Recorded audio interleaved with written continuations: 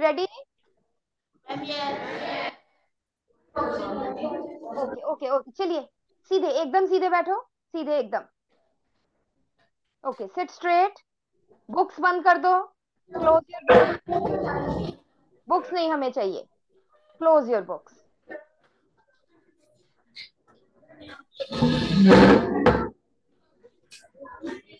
आराम से आराम से सीधे होकर एकदम।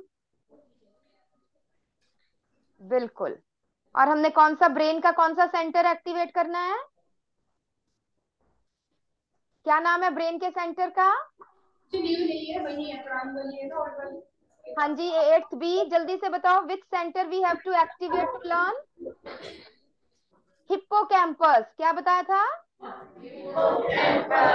हाँ इसको जब भी हमने पढ़ने बैठना है, हमने शॉर्ट टर्म मेमोरी को लॉन्ग टर्म मेमोरी में कन्वर्ट करना है। हमें बहुत टाइम तक याद रहे। तो हमने कौन सा हमारा ब्रेन का सेंटर है? हिप्पोकैम्पस है, जिसको हमने एक्टिवेट करना है and that is connected with our backbone if the backbone is straight straight होती तो नहीं है बट हमने अपनी तरफ़ से स्ट्रेट करनी है। और अगर हम ये स्ट्रेट रखेंगे तो हिप्पोकैम्पस हमारा एक्टिवेट रहेगा। इज़ इट ओके ठीक है? सो टीचर्स प्लीज़ सी कि भाई ये बच्चे जो है ये हमारे जितने भी जो है एक्टिवेटेड रहे और ये काम करें। इज़ इट ओके ठीक है बच्चों? ठीक। तो अब जो है, आज जो है, आज हम आपका physics do you know what is physics what is physics yes कौन कौन से टॉपिक्स आ जाते हैं फिजिक्स में?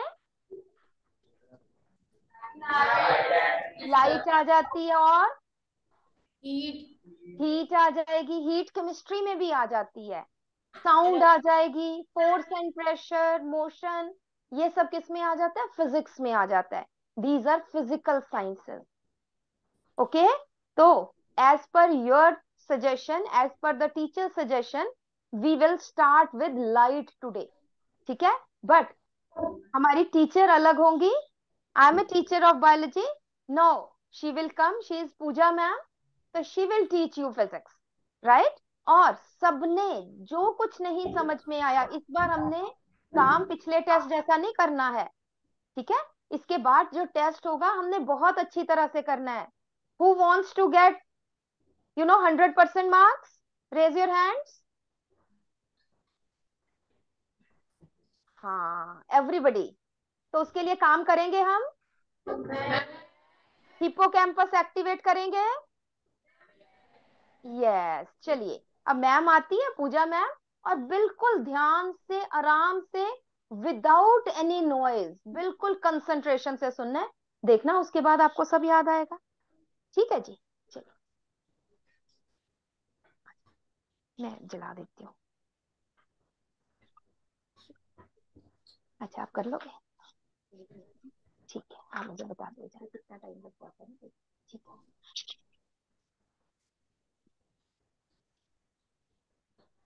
Yes, good morning, students.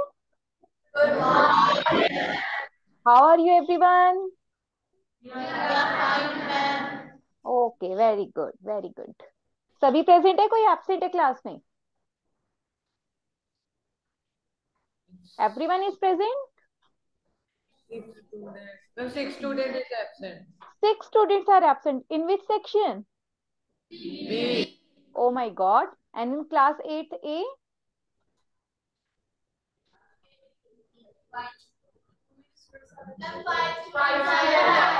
मतलब कि eleven students are absent oh my god चलो you are the lucky one you are going to get something new today है ना? आप बहुत लक्की बच्चे हो। ठीक है बच्चे? ठीक है? चलिए बेटा। तो so we are going to start with chapter light ठीक है बच्चा? तो लाइट आपके स्कूल में कवर हो गया बच्चा चैप्टर ओके बेटा चलिए बहुत अच्छी बात है। देखो बेटा आज हमने लर्निंग करनी है लाइट चैप्टर की।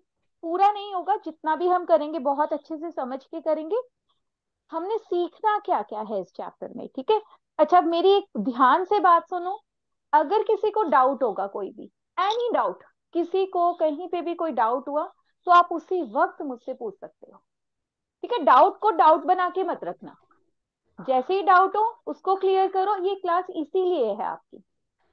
एवरी ठीक है, किसी ने ये नहीं कहना कि दूसरा क्या कहेगा, मैं क्या क्वेश्चन पूछ रहा हूँ स्टूपिड सा क्वेश्चन है इजी सा क्वेश्चन है, ऐसा बिल्कुल भी नहीं सोचना। राइट बेटा? ठीक है, जिसके मन में जो डाउट हो, वो आप मुझसे पूछ सकते हो। So should we start now चलिए। चलिए बेटा।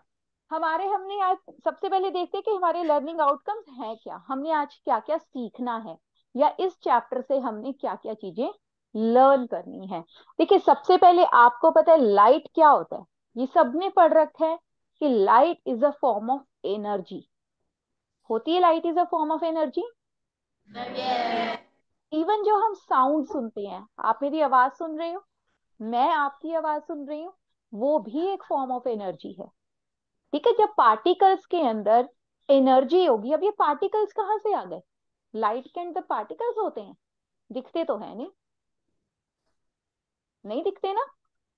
बट बेटा, कोई भी चीज़ दूर से आपके पास अगर पहुँच रही है इट मीन्स वो पार्टिकल्स की हेल्प से पहुँच रही है। ठीक है बच्चे? जैसे साउंड साउंड पहुँचती है ना, आप आपस में बात करते हो, एक की साउंड दूसरे तक पहुँचती है। पहुँच रही है? वो किस कारण से पहुँच पा रही है? Due to the presence of particles ठीक है बच्चे? तो लाइट भी ट्रेवल करके आप तक पहुँच रही है with the help of particles right बेटा? तो जब पार्टिकल्स है तो वहाँ पर जब तक एनर्जी नहीं होगी ना, तब तक आपको लाइट दिखाई नहीं देगी साउंड सुनेगी नहीं। ये चीज़ है। पार्टिकल्स के अंदर एनर्जी होती है। आपने इस क्लास में फ़र्स्ट चैप्टर किया होगा ना? मैटर इन आर सराउंडिंग जिसमें आप पढ़ते हो सॉलिड लिक्विड गैस सॉलिड में भी पार्टिकल्स होते हैं लिक्विड में भी पार्टिकल्स होते हैं। पढ़ा है सबने? है ना? तो हमारी एयर में भी बहुत सारे पार्टिकल्स है। इज़ दैट क्लियर तो लाइट क्या है? Is a form of energy दूसरा हमने क्या देखना? Role of light in survival कि लाइट का रोल क्या है? लाइट का हम देखते कि सिर्फ़ क्या देखने के लिए यूज़ होती है लाइट चीज़ें देखने के लिए यूज़ होती है सिर्फ़ लाइट ऐसा नहीं। आप बता सकते हो किस किस लिए यूज़ होती है लाइट कहाँ कहाँ यूज़ है लाइट का? Yes eight B first student जिसने रेज किया था है? हाँ जी बेटा। And with the help of the sunlight is a form of light we can produce electricity. Okay uh, ठीक है। और और कोई use anybody from the class eight A yes Harman Singh कौन है क्लास में? हरमन सिंह हाँ जी बेटा, बताओ जरा। Harman Singh class eight A का स्टूडेंट है हरमन सिंह हाँ जी बेटा, बताइए जरा। लाइट के क्या क्या यूजेस हो सकते हैं?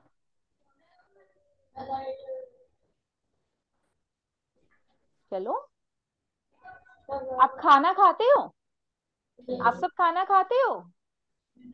ऑब्वियसली खाते हैं, मैं भी खाती हूँ, आप भी सब खाते हो। तो वो खाना बनाता कौन है? अल्टीमेटली वो खाना बन कहाँ से रहा है? बताओ। कहाँ से बन रहा है? कौन दे रहा है हमें खाना? आपने वीट खाया आपने राइस खाए कहाँ से आया वो खाना? From the plant very good अब प्लांट्स अपना फ़ूड कैसे बनाते हैं?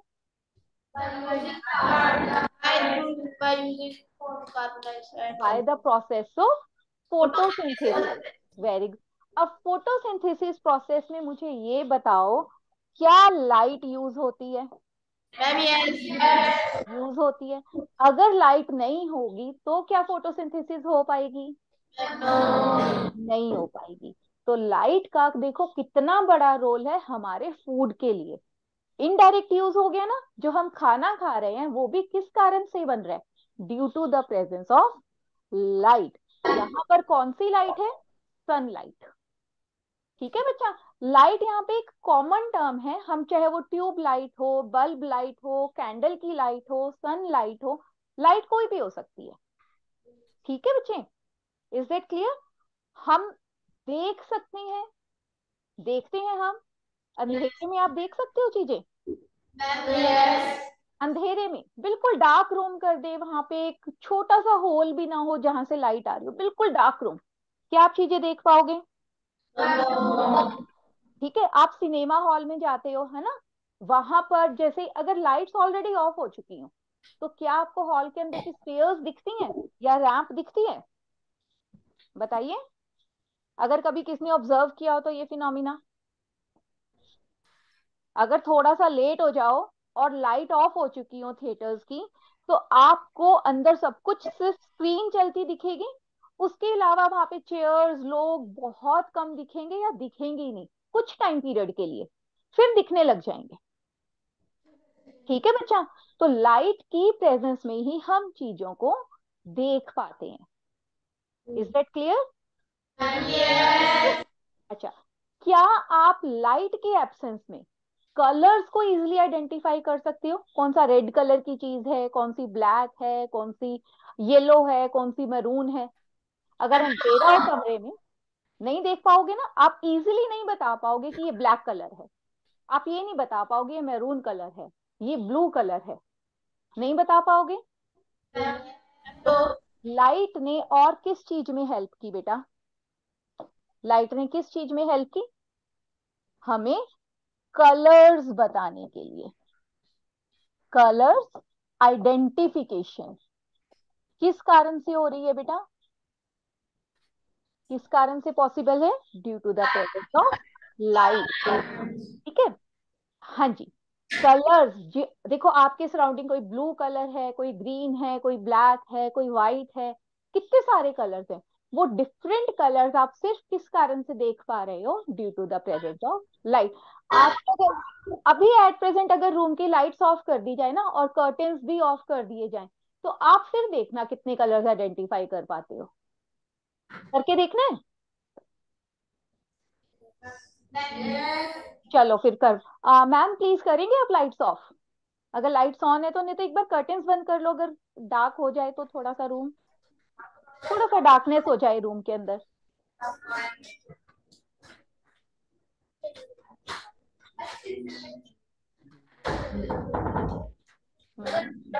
एट बी में तो अच्छा खासा डार्कनेस हो गया। हाँ। अब बताओ कितने कलर्स आइडेंटिफाई कर पा रहे हो? फिर भी लाइट आ रही है एट बी में तो थोड़ी थोड़ी बस क्लास से है।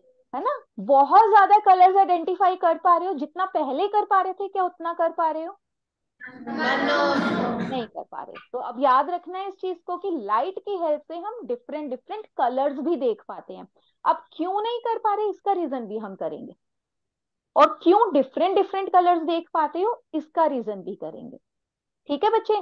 चलिए, पहले ये कंप्लीट कर लेते हैं। थर्ड है path of light path of light क्या होता है बच्चा? लाइट कैसे ट्रेवल करती है? स्ट्रेट लाइन ये आपने कौन सी क्लास में पढ़ा था? फिफ्थ अभी सेवेंथ में भी तो पढ़कर आए हो। सेवेंथ में भी पढ़ा है आपने। शेडो वाला टॉपिक किया, है ना? Light travels in a straight line में अभी आपको शो भी करूँगी कि लाइट ट्रेवल करती है स्ट्रेट लाइन में। आप खुद चेक करना उस चीज़ को। हम शेडो भी बनाकर देखेंगे। ठीक है बच्चे? समझ आया? फिर हम प्रॉपर्टीज़ ऑफ़ लाइट डिस्कस करेंगे। जैसे कि वर्चुअल एंड इरेक्ट होती है लाइट की प्रॉपर्टीज़ जो भी होती है। ठीक है बच्चे? इज़ इट क्लियर चलिए बेटा। चलिए तो हम अच्छा आपको, अब मुझे ये बताओ, क्या आपको पता है लाइट्स की क्या क्या प्रॉपर्टीज़ होती हैं? लाइट अगर किसी ऑब्जेक्ट के ऊपर क्लास एट थे बेटा कर्टन हटा लीजिए लाइट ऑन कर लीजिए। हाँ जी टीचर्स प्लीज़ कर दीजिए। ठीक है ठीक है? देखो लाइट की क्या क्या प्रॉपर्टीज़ होती हैं? लाइट जब किसी सरफेस के ऊपर फॉल करती है, लाइट कैसे सरफेस पे फॉल कर रही है, उस चीज़ पे डिपेंड करती है। सपोज़ करो लेटर से आपके पास एक बॉल है। अगर आप बॉल को हार्ड सरफेस के ऊपर थ्रो करोगे या फॉल करोगे तो क्या होगा? बाउंस होके वो वापस आ जाएगी? आ जाएगी? अगर सॉफ्ट सरफेस के ऊपर करोगे कोई मैट्रेस है कोई कॉटन है या सैंड है लूज सैंड पड़ी है उसके ऊपर बॉल को फॉल करोगे तो क्या होगा? तो बाउंस नहीं करेगी। बाउंस नहीं करेगी है ना? अगर लूज सैंड होगी तो वो उसके अंदर भी जा सकती है है ना? तो ऐसे ही हमारी लाइट भी काम करती है। वो डिपेंड करती है कि सरफेस कैसा दिया गया है। कैसा सरफेस है? बेटा उसके बेसिस पर हमारे पास तीन फिनोमिनाज हैं रिफ्लेक्शन एब्जॉर्प्शन एंड ट्रांसमिशन ठीक है बच्चे? सबसे पहले तो मैं आपको एब्जॉर्प्शन समझाती हूँ। लेटर से आपके पास एक आपके टेबल पे पानी गिर गया। लेटर से थोड़ा सा बॉटल से पानी गिर गया। आपके पास हैंकी है। आप हैंकी से क्लीन कर लोगे उसको? तो वो पानी कहाँ गया? ये बताओ। हैंकी ने एब्जॉर्ब कर लिया। समझ आया? कहीं पे गिरा नहीं ना वो? अगर एक्सेस में ज़्यादा मैं थोड़े से पानी की बात कर रही हूँ कि जितना हैंकी एब्जॉर्ब कर सके। समझे?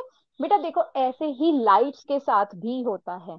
लाइट्स भी एब्जॉर्ब होती हैं। ठीक है? एब्जॉर्ब होती हैं। समझ आया भी एब्जॉर्ब का मतलब क्या है? कि लाइट को किसी ने अपने पास एब्जॉर्ब कर लिया रख लिया। अब आप मुझे एक चीज़ बताओ। आप गर्मियों में कौन से कलर के क्लोथ्स पहनना पसंद करते हो?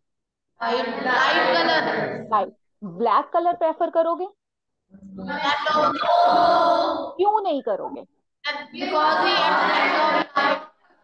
Because it absorb more light light absorb नहीं कर लाइट एब्जॉर्ब करेगा। लाइट को एब्जॉर्ब करने के बाद आपको ब्लैक कपड़े के अंदर गर्मी लगेगी ज़्यादा? मतलब light is a form of light क्या प्रोड्यूस कर रही है? हीट प्रोड्यूस कर रही है। ठीक है? अब आपने व्हाइट कलर का क्लोथ पहना है ना? व्हाइट कलर का क्लोथ पहना तो उसमें क्या हुआ? बताओ। ज़्यादा लाइट हाँ ज़्यादा लाइट एब्जॉर्ब नहीं हुई। लाइट ज़्यादा एब्जॉर्ब नहीं हुई तो वो ज़्यादा हीट भी प्रोड्यूस नहीं करेगी। समझ रहे हो मेरी बात? सबको समझ आ रहा है? एट थे।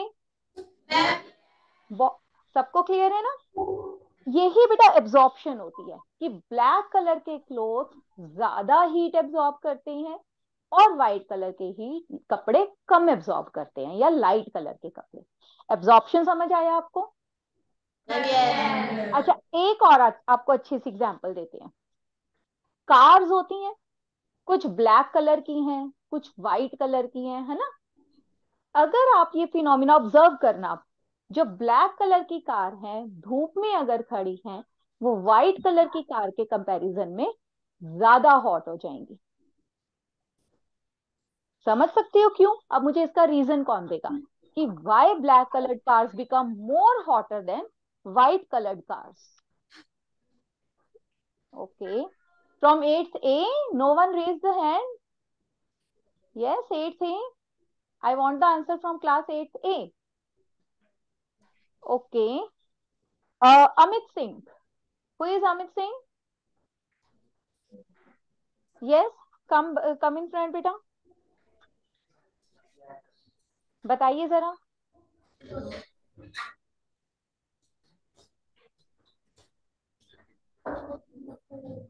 रीजन दीजिए। बताइए ब्लैक कलर की कार ज़्यादा हॉट क्यों हो जाएँगी? व्हाइट कलर की कार से?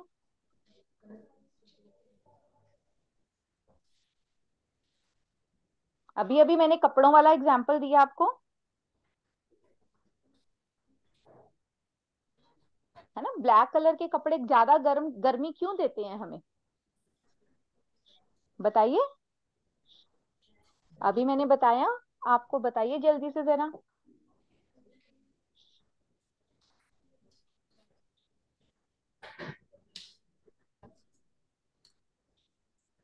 Any one else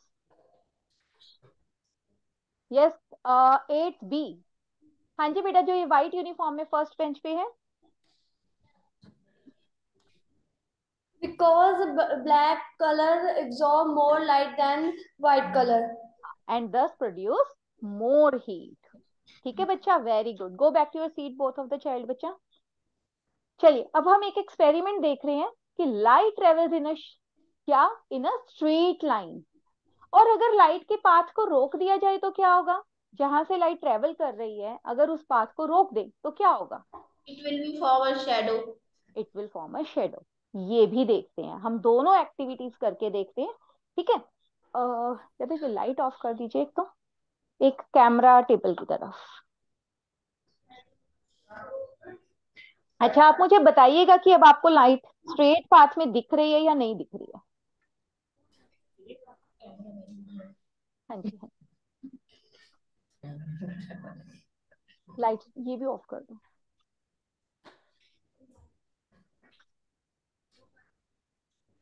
एक मिनट बेटा बड़ी लाइट ऑन करने देती हूँ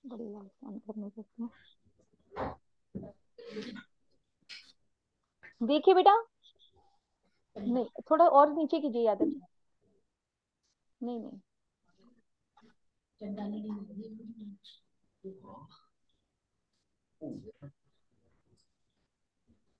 यादव जी देखना आपको दिख रही है? छोड़ आ रहा है बीच में। ये हटाना। बच्चा देखो जरा इसमें से आ रही है आपको शेडो शेडो से बोल रही हूँ लाइट आ रही है आपको? ये देखो ठीक ना? देखो, दिख रही है? Because this light is travelling in a straight line ये बिल्कुल स्ट्रेट लाइन में ट्रेवल कर रही है। ठीक है बच्चे? इज़ इट क्लियर देखो, ये देखो, दिखी?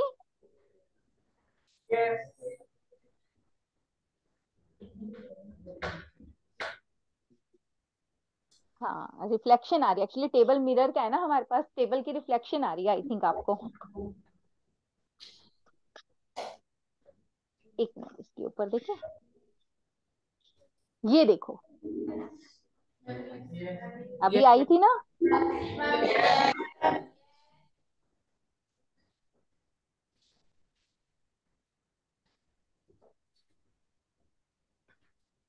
ये देखो, कुछ कुछ दिख रही है? है ना? तो लाइट क्या, कैसे ट्रेवल करती है? इन स्ट्रेट लाइन और अगर मैं इसका पाथ थोड़ा सा चेंज कर दूँ, ठीक है? मैं ऐसे थोड़ा सा इसको फोल्ड कर दूँ तो अब देखो, क्या अब लाइट की शेड कुछ हल्की सी भी लाइट दिख रही है आपको? नहीं क्योंकि लाइट स्ट्रेट लाइन पाथ में ही ट्रेवल करती है। अब देखो, मैंने इसमें क्या किया? यादव जी ऑन कर दीजिए, चाहे लाइट देखो क्या हुआ?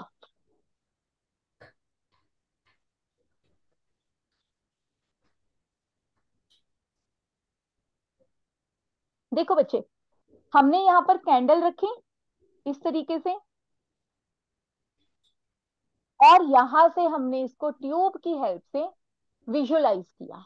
यहाँ पर हम खड़े थे, हम इस लाइट को देख पा रहे थे because light is travelling in a straight line ठीक है बच्चे? आई बेटा बात समझ? ठीक है? अब मैंने क्या किया? इसी ट्यूब को मैंने क्या किया? इस तरीके से बेंड कर दिया। इस तरीके से। बट है ना? इसको ऊपर शिफ्ट करके देख लेते हैं। एक मिनट रुको। इसी ट्यूब को मैंने क्या किया? मैंने इस तरीके से बेंड कर दिया। ऐसे करके। ऐसे करके। ठीक है? अब लाइट यहाँ तक तो स्ट्रेट लाइन में ट्रेवल कर रही है। अगर मैं इसको थोड़ा और ज़्यादा बेंड कर दूँ तो लाइट क्या है फिर? आगे पास नहीं करेगी। ठीक है पर बच्चे? समझ आई ये चीज़? क्लियर हुआ? अच्छा अब लाइट क्या शेडो भी बनाती है? शेडो कब बनती है? शेडो कब बनती है बेटा? हाँ जी बेटा। सिर्फ़ लाइट का पाथ बंद हो जाएगा, रुक जाएगा। मतलब जी लाइट्स ऑफ़ कर देखे, बनती है शेडो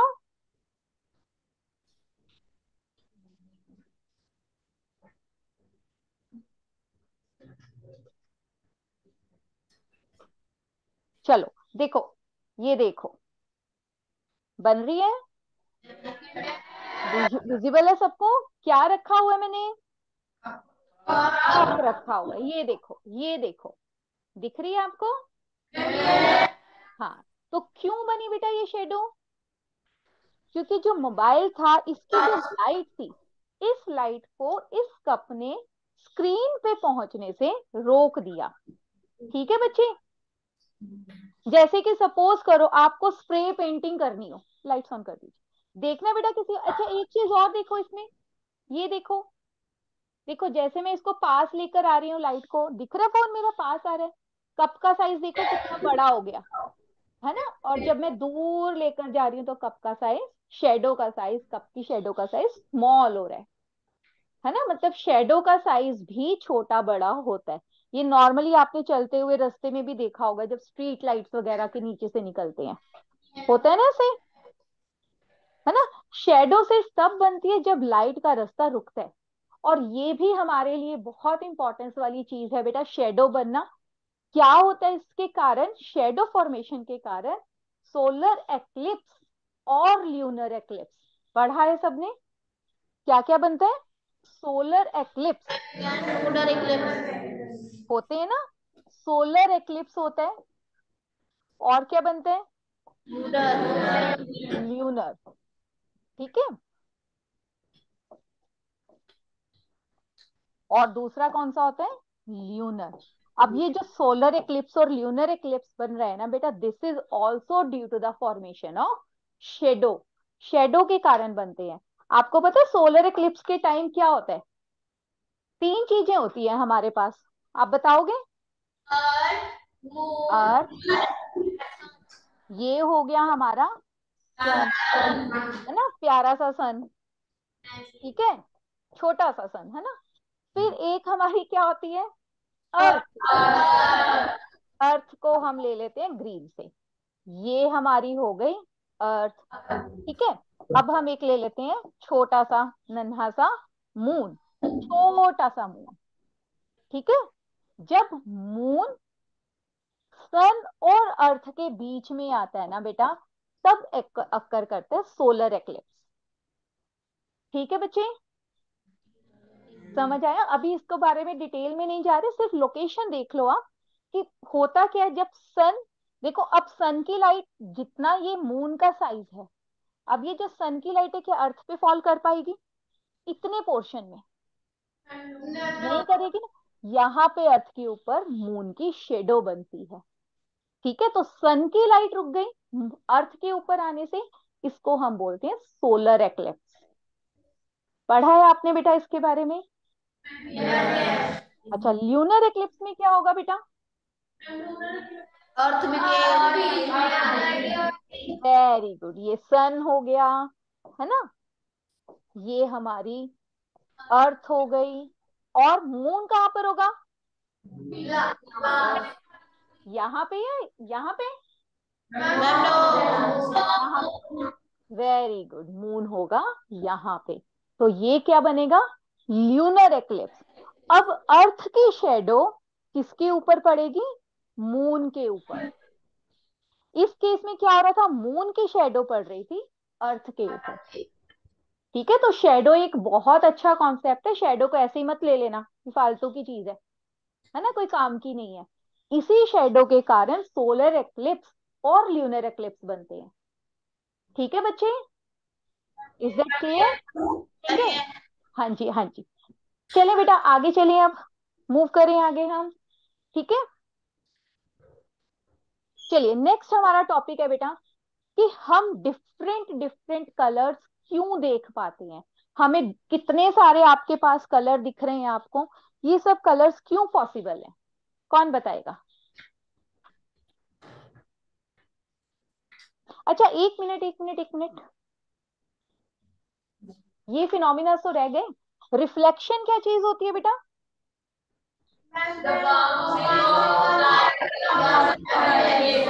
बिल्कुल बिल्कुल बिल्कुल। देखो क्या हो रहा है। ये लाइट आ रही है। लाइट एक सरफेस पे फॉल कर रही है और बाउंस बैक हो रही है। इसको हम बोलते हैं रिफ्लेक्शन जब टकराई आप बॉल के साथ खेलते हो तो क्या होता है? बताओ। हाँ सरफेस पे हिट करेगी, टकराएगी और वो वापस आ जाएगी। वो बाउंस बैक हो गई। है ना बच्चे? फिर एब्जॉर्प्शन हमने समझ लिया। कि ट्रांसमिशन क्या चीज़ है? बताइए।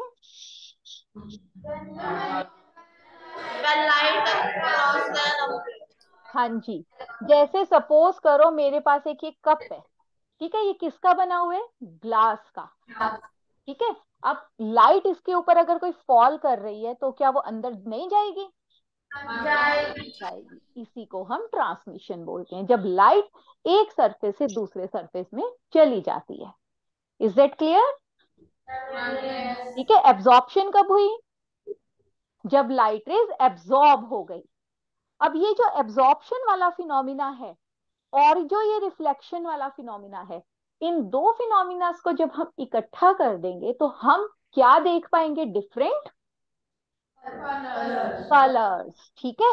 चलो अब देखते हैं कि डिफरेंट कलर्स कैसे दिखेंगे हमें।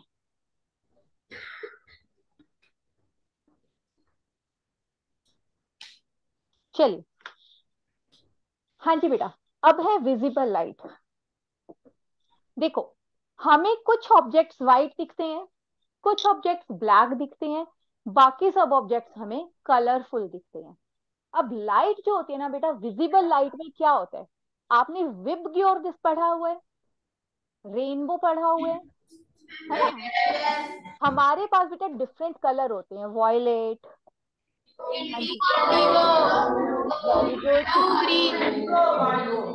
very good violet indigo blue very good फिर क्या आएगा? Green then yellow orange and very good ये हमारे विबग्योर के कलर होते हैं. राइट बेटा? इन्हीं कलर्स के कॉम्बिनेशन को हम बोलते हैं विजिबल लाइट क्या बोलते हैं इन कलर्स के कॉम्बिनेशन को हम? ठीक है बेटा? विजिबल लाइट इन्हीं कलर के कॉम्बिनेशन को बोला जाता है। अब ये कलर हमें डिफरेंट डिफरेंट कोई चीज़ हमें रेड दिखती है, कोई पिंक दिखती है, कोई ग्रीन दिखती है, कोई येलो दिखती है, कोई ब्लैक है ना? अब देखो, ये जब विजिबल लाइट के देखो सेवन कलर्स आप देख पा रहे हो वॉयलेट इंडी है ना? ये देखो violet indigo blue green yellow red orange देख पा रहे हो बेटा? विजिबल लाइट किसी सरफेस के ऊपर फॉल करे और सारे के सारे कलर्स रिफ्लेक्ट हो जाएँ। ऑल कलर्स आर रिफ्लेक्टिंग है ना बच्चे? तो इसको हम जब सारे कलर्स रिफ्लेक्ट होंगे तो वो सरफेस हमें कैसा दिखेगा? राइट ऐसा। ठीक है बच्चे? अब देखो, इस केस में क्या हुआ बताओ जरा खुद से। लाइट तो फॉल कर रही है बट क्या कोई रिफ्लेक्शन हो रही है? बताओ, यहाँ कोई रिफ्लेक्शन हुई? कोई लाइट ऐसे गई टकरा के वापस? नो कोई भी लाइट रिफ्लेक्ट नहीं हुई। अगर रिफ्लेक्ट नहीं हुई तो गई कहाँ वो सारी लाइट एब्जॉर्ब हो गई। देखो कब। और वो सरफेस आपको कैसा दिखेगा? ब्लैक दिखेगा। शाबाश। अब देखो, सारी लाइट एब्जॉर्ब हो गई। लाइट में तो एनर्जी होती है। वो एनर्जी आपको क्या करेगी? गर्म करेगी या ठंडा करेगी? अभी समझ आया कि ब्लैक कलर के क्लोथ में ज़्यादा गर्मी हमें क्यों लगती है? समझ आया? देखो व्हाइट ने तो कोई भी लाइट अपने पास नहीं रखी। लाइट कलर के क्लोथ सारी लाइट को वापस भेज देते हैं। जब लाइट व्हाइट सरफेस के पास रही ही नहीं तो क्या होगा? क्या होगा बेटा? वो हीट प्रोड्यूस नहीं करेंगे। हीट प्रोड्यूस नहीं करेंगे तो क्या होगा?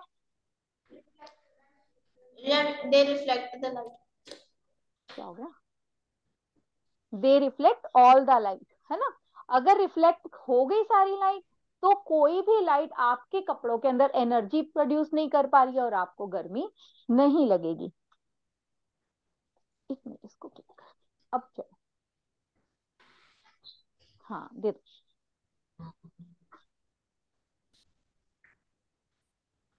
आया बेटा समझिए? अब ऐसे ही देखो बेटा, इस केस में ये सरफेस कैसा दिख रहा है बच्चा आप बताओ जरा जल्दी से। अब देखो, इस केस में क्या हुआ? लाइट सभी कलर्स की फॉल कर रही है। विजिबल लाइट फॉल कर रही है इसके ऊपर, है ना? और रिफ्लेक्ट कौन सी हो रही है? सिर्फ़ रेड लाइट तो ये सरफेस आपको कैसा दिखेगा? रेड दिखेगा। इस केस में देखो, जब विजिबल लाइट फॉल हुई तो कौन से कलर की लाइट रिफ्लेक्ट हुई? तो ये सरफेस कैसा दिखा? अब रेड कलर में सिर्फ़ रेड लाइट रिफ्लेक्ट हुई। तो बाकी की सिक्स लाइट्स कहाँ गई? है ना? इस केस में सिर्फ़ ग्रीन रिफ्लेक्ट हुआ। बाकी की लाइट्स कहाँ गई? समझ आया बेटा फिनोमिना आपको?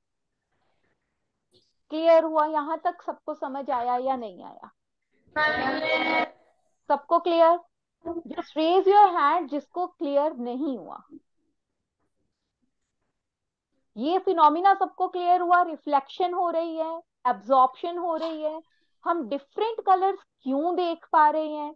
हमें खाने के लिए जो खाना मिलता है फ़ूड मिलता है, उसमें लाइट कहाँ से यूज़ हो रही है? कैसे यूज़ हो रही है? हमने शेडो का देखा कि सोलर एक्लिप्स में यूज़ हो रहा है ल्यूनर में एक्लिप्स में यूज़ हो रहा है, ये सब हमने देखा। और हमने देखा लाइट के कारण ही हम डिफरेंट डिफरेंट कलर्स को देख भी पाते हैं। ये चीज़ें समझ आई बच्चे आपको? ठीक है बेटा? इज़ दैट क्लियर अभी थोड़े से क्वेश्चंस करेंगे, ध्यान से समझना, आप सबने आंसर करना है उनका। ठीक है? चलिए बेटा नेक्स्ट हमारा टॉपिक अब हम जो कॉन्सेंट्रेट करेंगे ना बच्चा, वो हमारा टॉपिक है। रिफ्लेक्शन किस पे काम करना है हमने? रिफ्लेक्शन ठीक है? इवन जब हम ह्यूमन आई करेंगे ना बेटा ह्यूमन आई के अंदर भी हमने जो ट्रांसमिशन पढ़ा अभी, कि जब लाइट रेज ग्लास के ऊपर फॉल की और वो अनदर मीडियम में एंटर कर गई। ठीक है बच्चे? तो ट्रांसमिशन ये हम चीज़ समझेंगे ह्यूमन आई में, हमारी आँखों में ट्रांसमिशन ऑफ़ लाइट होती है। हमारी आईज में एब्जॉर्प्शन ऑफ़ लाइट भी होती है। हम ह्यूमन आई हम अपनी आँखों से कोई चीज़ जब देखते हैं, वो कौन, किसके कारण देखते हैं? रिफ्लेक्शन ऑफ़ लाइट के कारण देखते हैं। समझ रहे हो बेटा? तो ये सारी चीज़ें हमारी आँखें ऐसे ही नहीं बनी हुई। बहुत ज़्यादा फिनोमिनास पे काम करती हैं ये आँखें। है ना? ठीक है जी? चलो, इनको ऐसे ही नहीं मोबाइल देख देख के खराब करना। देखते तो सभी हैं, मुझे पता है मोबाइल कौन नहीं देखता। सब देख, कोई है क्लास में जो मोबाइल यूज़ ना करता हो, या बहुत कम यूज़ करता हो? देखो, एक भी हैंड रेज नहीं है। है ना? सब यूज़ करते हैं। किसी को अपनी आँखों की फ़िक्र नहीं है। है ना? रेगुलर मत देखा करो बेटा फिफ्टीन ट्वेंटी मिनट से ज़्यादा मोबाइल कॉन्टिन्यूटी में नहीं देखना चाहिए। देखो यूज़ करो थोड़ा बहुत एक लिमिट तक। ठीक है बच्चे? चलो जी आगे चले हम? चलिए। चलिए बेटा। आगे बेटा, हमने अब काम करना है रिफ्लेक्शन पे। अब इसके लिए भी मैं आपको एक एक्टिविटी दिखाऊँगी बट उससे पहले जो इसकी बेसिक टर्म्स हैं, चीज़ें हैं एंगल है, वो चीज़ें हम समझ लेते हैं कि होता क्या है रिफ्लेक्शन लॉज ऑफ़ रिफ्लेक्शन क्या है? इवन आपको एक सेकेंड लॉ जो होता है, आपका प्लेन जिसके अंदर वर्ड आता है incident ray reflected ray and normal lies in the same plane वो भी हम समझेंगे कि इस प्लेन का मतलब क्या है। ठीक है बच्चे? चले। हमारा टॉपिक है बेटा रिफ्लेक्शन ठीक है? अब ये रिफ्लेक्शन होती क्या चीज़ है? सबको पता है? क्या होता है reflection very good bouncing off है ना? अब ये बाउंसिंग होती कब है? जब लाइट किसी सरफेस के ऊपर हिट करती है। जब टकराएगी तब लाइट बाउंस करेगी। देखो बॉल है। हवा में उछालोगे थोड़ी ना बाउंस करेगी। जब किसी सरफेस के ऊपर हिट करोगे फ्लोर पे हिट करोगे वॉल पे हिट करोगे, किसी हार्ड सरफेस पे हिट करोगे, तभी तो वो बाउंस होगी। ऐसे लाइट को भी बाउंस होने के लिए सरफेस की ज़रूरत होती है। क्लियर हुआ बेटा इतना? ये समझ आया? अब हम देखते हैं कि आपने ये सब देख रखा होगा। मुझे बताओ, अगर मैं ये डायग्राम बना दूँ इस तरीके से। ये सपोज़ करो। ठीक है? हम इस रे को क्या बोलेंगे? आप उल्टा बनाऊँगे मैं इंसिडेंट रे ठीक है? आप ये देखो मैंने एरो ऐसे लगाया हम इसको रे को क्या बोलेंगे? इंसिडेंट ठीक है? तो जो रे ये मेरे पास क्या है नीचे? This is my mirror plane mirror कौन सा मिरर जिसके अंदर हम खड़े होकर देखकर अपने आप की कॉम करते हैं रेडी होते हैं, वो वाला प्लेन मिरर हम यहाँ पर हमने रख दिया हॉरिजॉन्टल करके। समझ आई बेटा? ऐसे करके रख दिया। इसके ऊपर मैंने रे फॉल करवाई। रे फॉल कर रही है इसके ऊपर?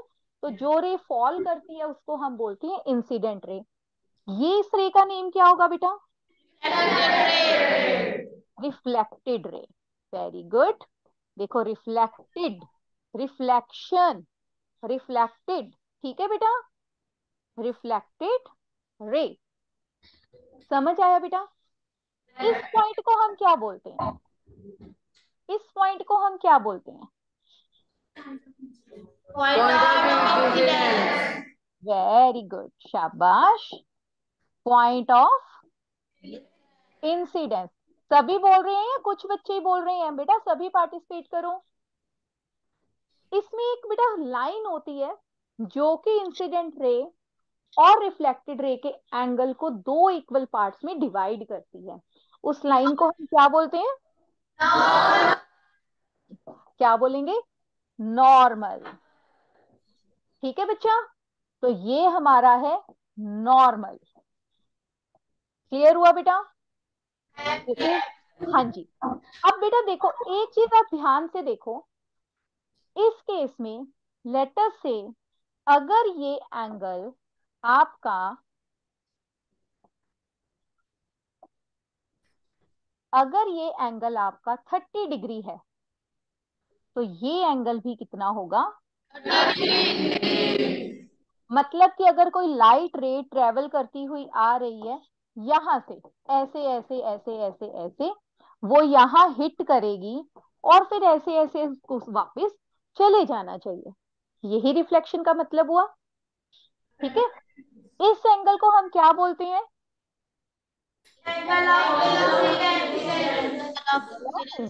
इस एंगल को हम क्या बोलेंगे? रिफ्लेक्शन समझ आया बेटा इतना? ठीक है? ये चीज़ें क्लियर हुई। चलो हम एक एक्टिविटी करके देखते हैं, क्या सच्ची में ऐसा होता है या हमसे बोर्ड के ऊपर ड्रॉ करके समझा रहे हैं? क्या लाइट ऐसा पाथ फॉलो करती है सच्ची में? क्या ऐसा एंगल बनाती है कि अगर ये थर्टी है तो ये भी थर्टी होगा? अगर यहाँ सिक्सटी होता तो यहाँ कितना होना चाहिए था? सिक्सटी अगर यहाँ फोर्टी होता तो आर कितना होना चाहिए था? चलो हम चेक करते हैं जल्दी से एक बार देख के देखते हैं क्या ये हो रहा है ऐसे। ठीक है? या तो जी लाइट बंद कर दीजिए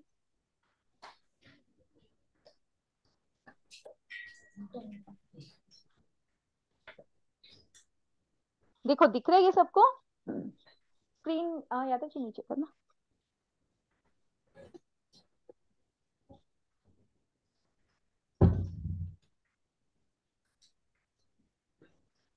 ये ये दिखना चाहिए। थोड़ा शिफ्ट करना पड़ेगा। हाँ। देखो बेटा, ये दिख रहे सबको? एक बार मैं दिखा दूँ, याद जी लाइट ऑन करना, इनको दिखा दूँ क्या क्या? देखो, ये दिख रहा है बेटा सबको? What is this return what is this हाँ जी। हिल रही है ना? ये ऑफ़ कर दें। कहाँ से होगा?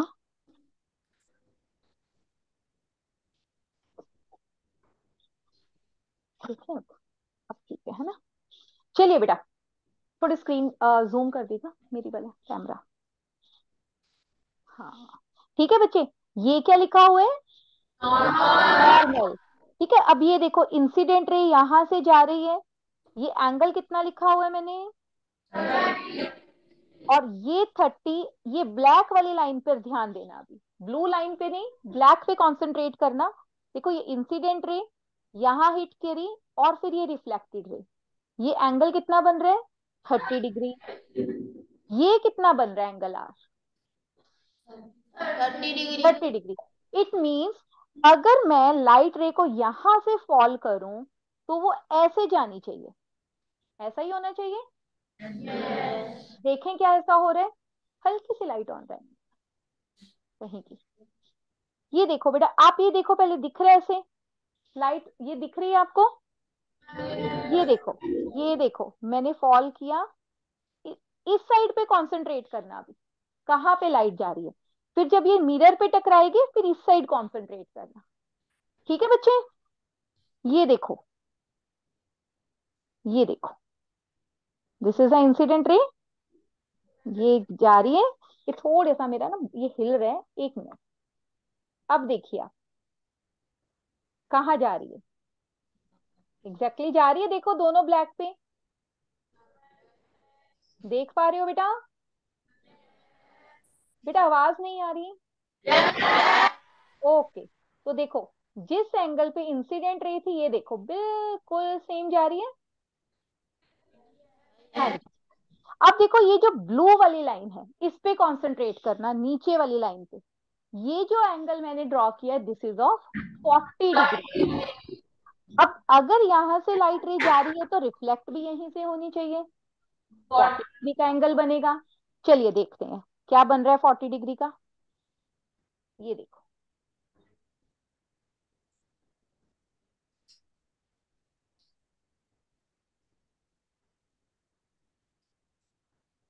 ये देखिए। दिख रहा है बेटा? बन रहे हैं, ये देखो। जा रहे फोर्टी पे, है ना? तो ये आपको समझ आया कि जितना एंगल ऑफ़ इंसिडेंस होगा, उतना ही एंगल ऑफ़ रिफ्लेक्शन होगा। ठीक है? एक्सपेरिमेंटली हमने चेक कर लिया। दोबारा देखना है तो बता दीजिए। अदर क्लियर है तो मुझे वो भी बता दीजिए। Is it clear to every one class eight A class eight B is it clear समझ आ गया बेटा सबको? तो अब हम देखो, हमारे पास लॉज ऑफ़ रिफ्लेक्शन होते हैं। ठीक है? लॉज ऑफ़ रिफ्लेक्शन में क्या क्या पढ़ते हो आप? ये बंद हो गया? बोर्ड बंद हो गया।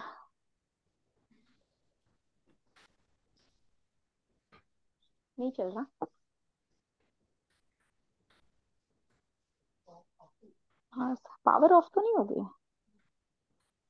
चलो। चलिए बेटा, ये मुझे दिखा दो, मैं इतनी देर इनको लॉस समझा दू। मेरे को नीचे कर दो।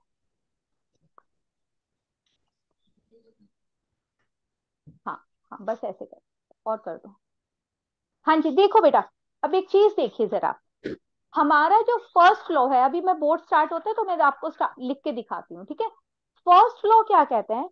कि angle of incidence equals to angle of reflection this is a first law क्या ये प्रूव हो गया? yes. हो गया।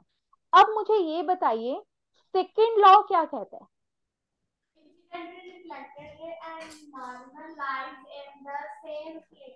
Lie in the same plane अब ये प्लेन क्या होता है? ये आपने मैथ्स में पढ़ा हुआ एक्स वाई प्लेन मैथ्स में पढ़ा है आपने? कोऑर्डिनेट में x axis Y axis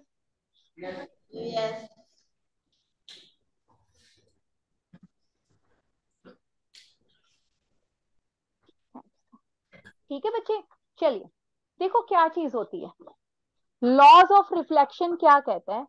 first आपने पढ़ लिया लॉज ऑफ़ रिफ्लेक्शन हमें बोलता है कि angle I equals to angle R ये हमने प्रूव कर लिया बेटा। ये हमारा प्रूव हो गया कि angle of incidence equals to angle of reflection अब देखो दूसरा लॉ क्या कहता है? ये आपका एक्स एक्सिस है। ये आपका वाई एक्सिस है और ये आपका जेड एक्सिस होता है। जेड एक्सिस भी होता है, ठीक है? जेड एक्सिस अभी तक आप एक्स एक्सिस वाई एक्सिस पढ़ रहे हो बट जेड एक्सिस भी होता है। अब प्लेन का मतलब क्या है? जो हमारी लाइट है, जो कौन कौन सी? Incident ray reflected ray and normal तीन चीज़ें हैं हमारे पास। कौन कौन सी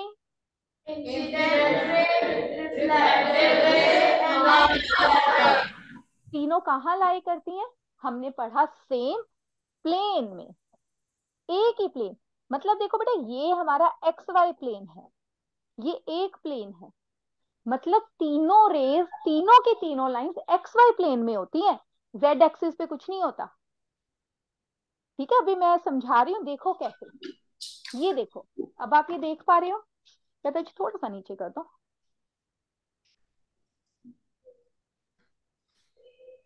हाँ जी। ठीक है, और कर दो, ताकि दिख जाए। हाँ देखो, अब अगर आप एक काम करो, हमारे पास इस पेपर के ऊपर ये मैं अगर एक्स एक्सिस मान लू, है ना? मतलब आप किसको, हम एक को एक्स एक्सिस मान लें। ये जो मिरर आपको ऐसे दिख रहा है, इसको आप क्या मान लो? जेड एक्सिस एक्स और वाई कैसे हैं, देखो? इस तरीके से दिख रहा बोर्ड पे नहीं दिख रहा ना ठीक है एक ये जो हॉरिजॉन्टल सरफेस है, इसको एक्स मान लो। इस वर्टिकल को आप वाई मान लो। मतलब इस शीट के ऊपर कोई भी आपके पास ए फोर साइज़ शीट है, ये बोर्ड है। अगर आप इसको इसको एक्स एक्सिस मान रहे हो तो ये वाई एक्सिस हो जाएगा बेटा। और जो ये मिरर थोड़ा सा बाहर की तरफ़ निकला हुआ है, देखो, ये निकला हुआ है ना थोड़ा सा बाहर की तरफ़? इसको आप जेड एक्सिस मान लो। मान लिया? ठीक है? अब ये जो इंसिडेंट रे नॉर्मल एंड ये रिफ्लेक्टेड रे है ये कहाँ पर है? क्या ये मिरर के ऊपर है? क्या ये एक्स और वाई प्लेन के ऊपर है? देखो पेपर के ऊपर बनी है ना या मिरर के ऊपर बनी है ये बताओ। मिरर और पेपर को हमने क्या माना था? ये एक्स प्लेन है एक्स एक्सिस है और ये वाई एक्सिस है। पेपर को हमने ये माना था। समझ आया? समझ आया बेटा? देखो पेपर की कोई भी दो चीज़ें हैं। आपके पास एक कॉपी है। लेटर से ये कॉपी है। कुछ भी है। ये एक्स एक्सिस है तो ये वाई एक्सिस है। और जो तीनों रेज बन रही हैं कहाँ बन रही हैं? वो यही तो बन रही हैं। ठीक है? एक आपके पास है जेड एक्सिस सपोज़ करो ये जेड एक्सिस है। ये जो मैंने हाथ में पेन पकड़ा हुआ this is a z axis क्या जो मेरी रे बन रही है इस इस पेन के ऊपर कहीं आ रही है? नहीं, सिर्फ़ वो कहाँ आ रही है? एक्स एक्सिस और वाई एक्सिस के सरफेस के ऊपर। समझ आई बेटा मेरी बात? क्लियर हुआ? इसको हम प्लेन बोलते हैं बेटा, इसी चीज़ को हम प्लेन बोलते हैं। क्लियर हुआ ये? ठीक है? अब देखो, ये आपका एक्स एक्सिस ये आपका वाई एक्सिस और ये मिरर आपका जेड एक्सिस ठीक है? ये एक्स एक्सिस ये वाई एक्सिस और ये मिरर आपका जेड एक्सिस तो ये तीनों रेज आपकी कहाँ बनी? एक्स एक्सिस और वाई एक्सिस के ऊपर। समझ गए बेटा? इसी को प्लेन बोलते हैं बेटा। प्लेन उड़ाने वाला प्लेन नहीं है इसमें कि incident ray reflected ray and normal lies in the same plane plane का मतलब है कि सेम ये देखो सेम कहाँ लाई करती है? एक्स वाई प्लेन में। यहाँ नहीं आ रही है बेटा हमारी रेस देखो। इस जेड एक्सिस के ऊपर नहीं आई।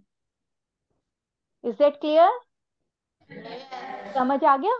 तो ये बेटा हमारे दो लॉज हैं जो कि हमने अभी समझे कि angle of incidence equals to angle of reflection और सेकेंड लॉ क्या कहते हैं कि जो हमारी इंसिडेंट रे है, हमारी रिफ्लेक्टेड रे है और जो हमारा, हमारी नॉर्मल रे है they all lie in the same plane is that clear समझ आई बेटा ये चीज़? चलिए। बेटा, अब आपके सामने मैं कुछ क्वेश्चंस दे रही हूँ, ठीक है? उन क्वेश्चंस के आंसर अभी तक जितना हमने पढ़ा, वही सब कुछ डिस्कस करेंगे हम। ठीक है जी?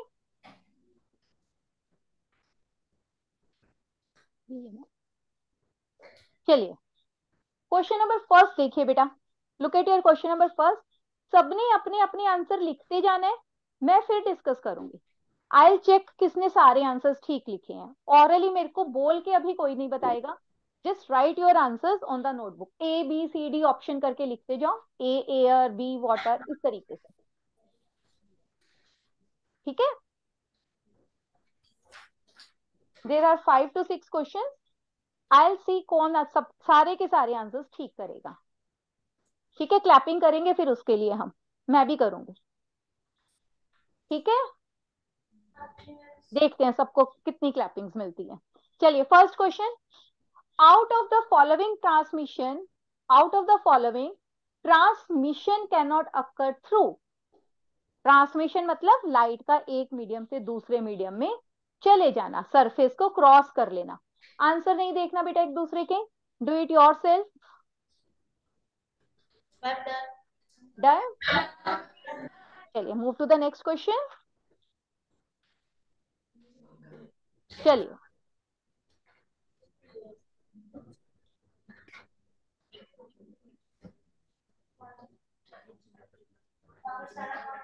अपना अपना बच्चे टीचर्स देखना जरा सा मैम प्लीज़ कोई चीट ना करें।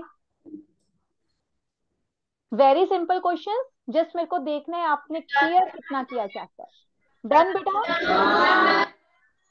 नो भी आ रही है बीच में कहीं पे मुझे।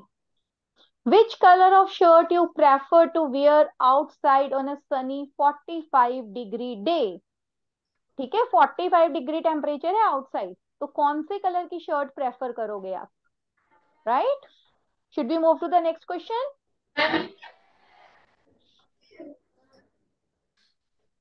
हाँ जी, when light hits on an area and bounces back, it is called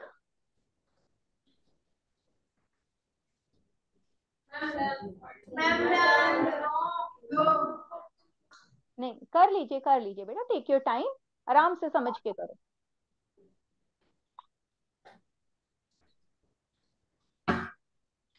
हो गया बच्चे? चलिए। Next question on which surface you prefer to walk barefooted on a hot sunny dry day आना था बेटा साथ में। ड्राई डे ठीक है? Black cemented road grey dark barefooted का मतलब पता है सबको? ओके okay, पैरों में कुछ भी नहीं पहना हुआ सॉक शूज़ कुछ भी नहीं ठीक है? On which surface okay everyone okay जी बस ठीक है.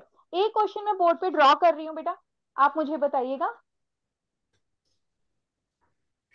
आप मुझे क्वेश्चन का आंसर दीजिए. अगर इंसिडेंट एंगल ऑफ़ इंसिडेंस अगर 65 डिग्री का है तो एंगल ऑफ़ रिफ्लेक्शन कितना होगा? लिख लो लिख लो. Write your answer if angle of incidence is of 65 degree then angle of reflection will be okay जी वेरी गुड अब देखो मैंने ये बनाया डायग्राम लेट अस से ये जो एंगल है this is of 25 degree let us fine okay बच्चे क्लियर हुआ ये?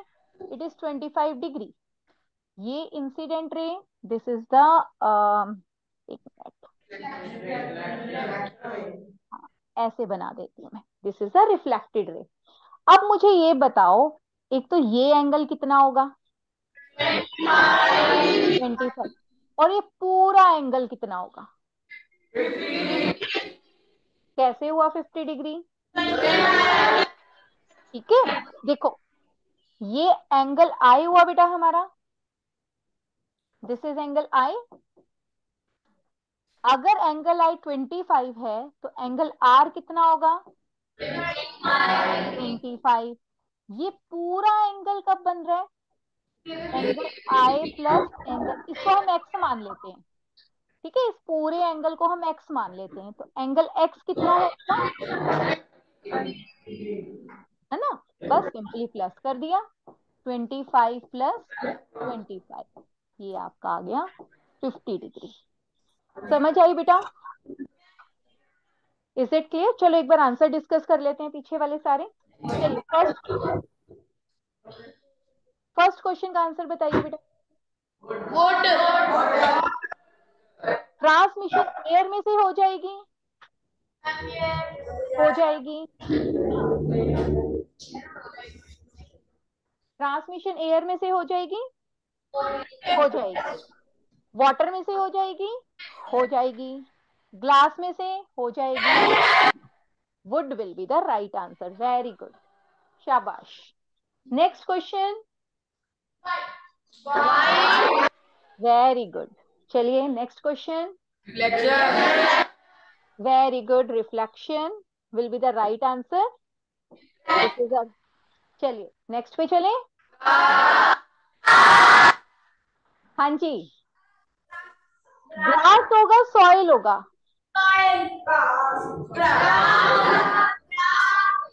गर्मियों में ना, कभी नंगे पैर, बिना कुछ पहने सॉइल पे चलकर देखना मिट्टी पे। फिर पता चलेगा मिट्टी कितनी गर्म हो जाती है। बहुत गर्म हो जाती है बेटा गर्मियों में मिट्टी। नंगे पैर नहीं चल सकते barefooted we can't move on the soil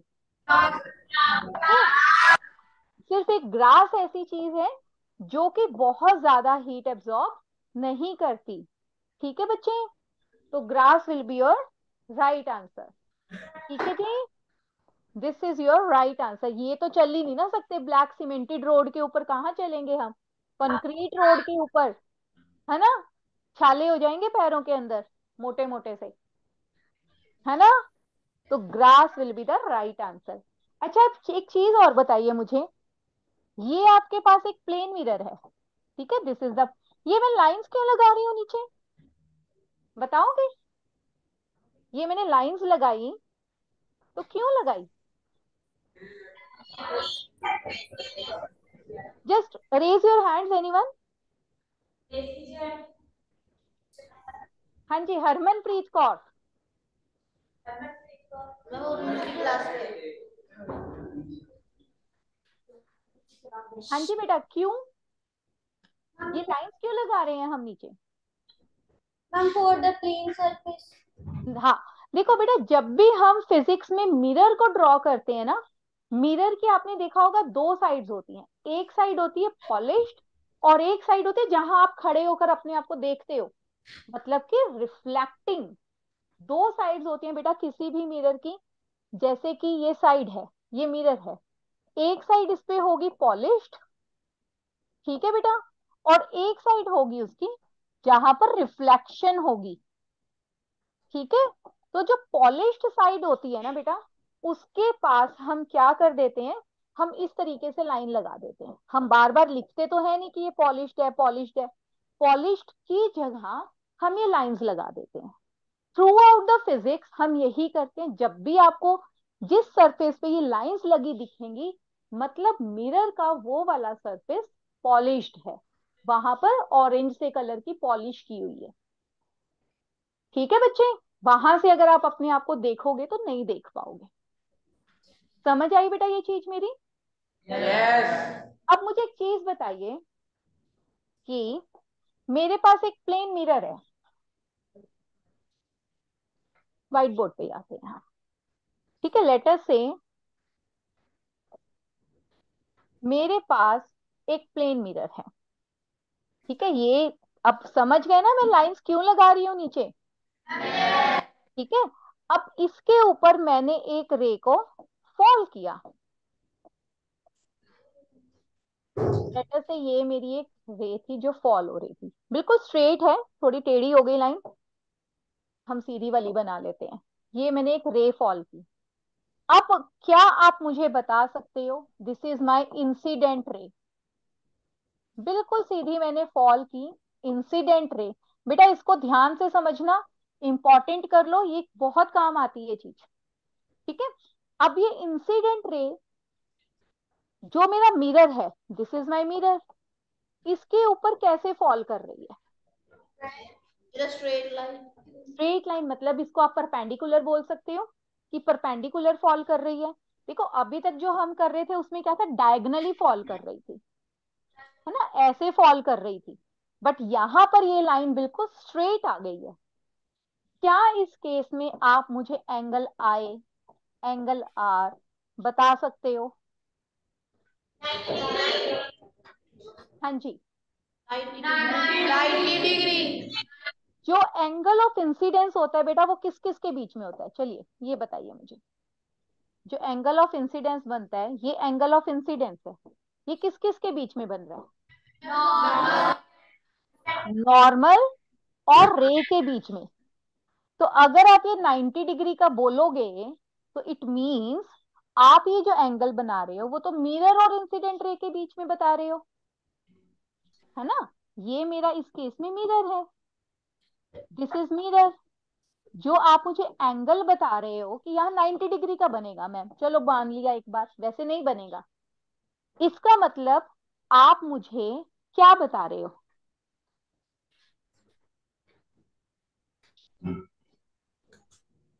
just minute भैया। आप मुझे ये वाला एंगल बता रहे हो। क्या ये एंगल ऑफ़ इंसिडेंस होता है? बता। एंगल ऑफ़ इंसिडेंस कहाँ होता है? ध्यान से बेटा, सभी मेरे को लग रहा है नहीं कर रहे, सुन रहे हो मुझे। ध्यान से।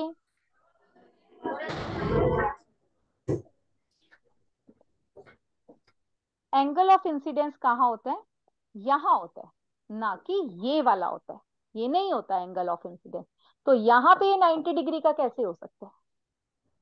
इस केस में बेटा एंगल ऑफ़ इंसिडेंस देखो नॉर्मल और इंसिडेंस रे एक ही जगह पर आ चुके हैं एक के ऊपर एक आ चुके हैं। जैसे कि ये मेरी सपोज़ करो ये मेरा नॉर्मल है और ये मेरी इंसिडेंट रे है।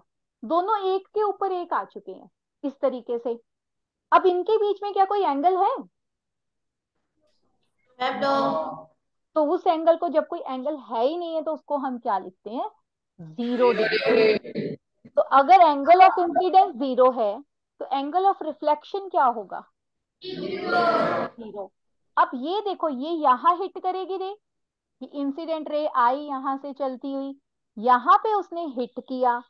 अब रिफ्लेक्टेड रे कहाँ जाएगी? Where will be the reflected ray go हाँ जी। देखो, हम यही करते हैं ना इंसिडेंट रे आई हिट किया और चली गई। ऐसे ही होता है? तो यहाँ पे भी क्या होगा? देखो इंसिडेंट रे आई, यहाँ पे हिट किया और सेम पाथ पे वापस चली गई। समझ आया बेटा? इसको हम एक बार पूरा दोबारा देखते हैं कि क्या बना। ये मेरी इंसिडेंट रे ये मेरी सॉरी ये मेरा mirror this is my mirror this is my incident ray ठीक है? अब नॉर्मल भी ऐसे ही ड्रॉ करते हैं हम परपेंडिकुलर इंसिडेंट रे भी परपेंडिकुलर है। It means normal and incident ray के बीच में।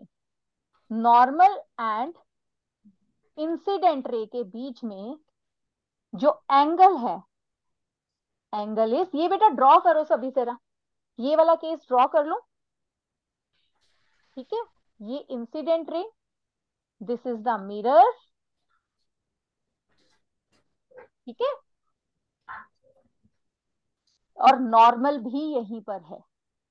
इस केस में angle i equals to angle r equals to zero degree समझ आया बेटा ये? Ma'am I have a doubt हाँ जी बेटा बताइए। मैम इंसिडेंट इंसिडेंट रे का एंगल 180 डिग्री भी हो सकता है क्योंकि स्ट्रेट लाइन का एंगल वही होता है 180 डिग्री नहीं नहीं 180 कैसे होगा बेटा? एंगल तो नॉर्मल और इंसिडेंट रे के बीच में बनेगा ना बच्चे? और आपने अगर पढ़ा होगा तो दो पैरेलल लाइंस के बीच में एंगल हमेशा ज़ीरो डिग्री होता है। मतलब अगर एक ये लाइन है और इसके ऊपर मैं एक लाइन और बना दूँ तो इनके बीच में एंगल जो होता है ना, वो हमेशा ज़ीरो डिग्री होता है। दो पैरेलल लाइंस के बीच में एंगल हमेशा ज़ीरो डिग्री रहता है। अच्छा एक चीज़ और देखो, मैं आपको एक तरीके से और समझाती हूँ। यहाँ पर देखो, ये आपका मिरर बना बेटा। ये आपका नॉर्मल था। ये आपकी इंसिडेंट रे थी। लेटर से है ना? अब यहाँ पे ध्यान से देखना। आपके पास लेटर से ये एंगल था 20 डिग्री हमने मान लिया। अब इस इंसिडेंट रे का पाथ थोड़ा सा और ऐसे कर दो। कर दिया? देखो जरा है ना? अब क्या हुआ? ये जो एंगल था ये देखो थोड़ा कम हो गया ना पहले से। कम हुआ कि नहीं हुआ? बताओ, पहले देखो, इतना बड़ा एंगल था, ये पूरा था, अब ये इतना सा रह गया। से यस और नो अब मैंने एक रे और बना दी, ये भी इंसिडेंट रे है। सॉरी एरो गलत डाल दी मैंने। ये मेरी इंसिडेंट रे अब देखो, ये एंगल और थोड़ा हो गया। कम हो गया ना और भी?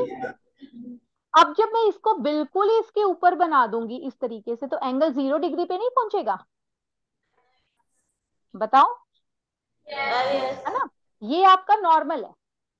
ये आपकी इंसिडेंट रे है। दोनों के बीच में कुछ एंगल बन रहा है? अब मैं जब इसको इस तरीके से घुमा रही हूँ पास में लेकर आई तो एंगल देखो एंगल कम होता जा रहा है ना दोनों के बीच में? है ना? और धीरे धीरे जब दोनों चिपक जाएँगे इकट्ठे हो जाएँगे तो एंगल दोनों के बीच में क्या हो जाएगा? तो एंगल हमने ये वाला नहीं लेना। हमने इंसिडेंट और मिरर के बीच में थोड़ी एंगल लेते हैं हम। इंसिडेंस एंगल क्या कहता है? ये किस किस के बीच में होता है? नॉर्मल यस तो अब ये ध्यान रखना है बस आपने। नॉर्मल कहाँ पर है और इंसिडेंट रे कहाँ पर है? ठीक है? अगर दोनों इकट्ठे हैं तो एंगल बन जाएगा ज़ीरो डिग्री का। ठीक है? समझ आ गया बच्चे? क्लियर यहाँ तक सबको कुछ समझ आया यहाँ पर? ये चीज़ बिल्कुल नहीं समझाई है मैंने आपको। ये समझ आई अब आपको बताइए। ओके। क्वेश्चन सबने कर लिए थे बहुत अच्छी बात है। किसी को कुछ डाउट पूछना है कुछ रह गया हो हमने जितने टॉपिक कवर किए उसमें से? दो है। चलिए बेटा रिस्पॉन्स दे दो ताकि मुझे पता लग जाए। एट थे क्लियर है बेटा सबको? एट बी सबको क्लियर है? एक्टिविटी समझ आई? कौन, हमने कौन कौन सी एक्टिविटीज़ देखी बेटा?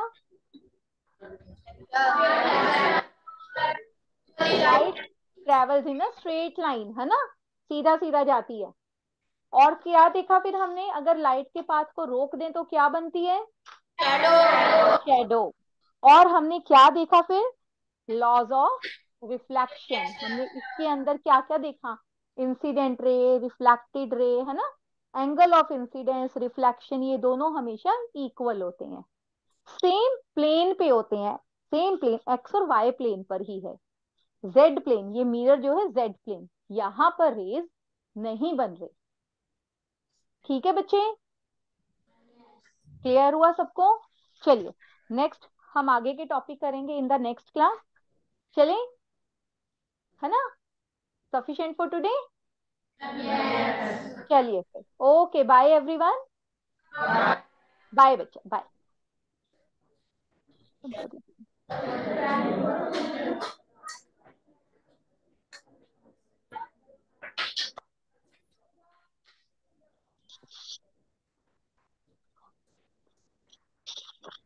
많아졌네.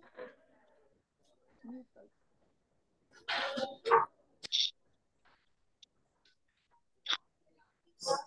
그러니까.